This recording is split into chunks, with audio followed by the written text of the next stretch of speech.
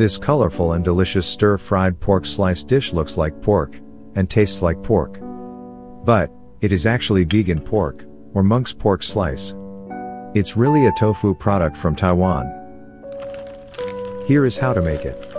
Soak about 20 pieces of tofu pork slices for 20 minutes, while preparing veggies.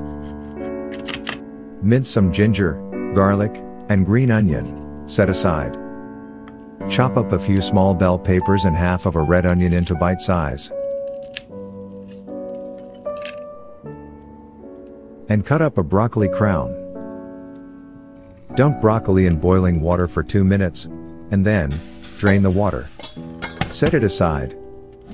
Add sea paste, oyster sauce, fish sauce, chili sauce, and rice wine into a bowl, about half a tablespoon each. Mix well. In another bowl, mix 2 teaspoon of cornstarch with water. Squeeze water from soaked tofu port slice as hard as you can, and we are ready to cook now. Heat up a generous amount of olive oil in medium high, and brown tofu slices into golden color. And take it out. Now, add aromatic into the wok, brown it lightly, and add onion, and then, bell pepper, to stir fry together. Time it according to your desire for how crunchy you want your veggies. Put tofu slices back into the mix, keep stir fry, and then, add half of the sauce.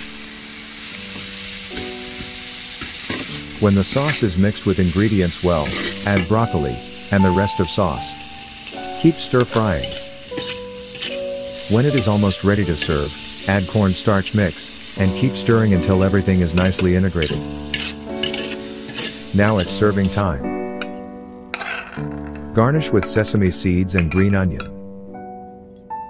Look at that. The color, the scent, and the flavor. So appetizing. It really tastes like pork.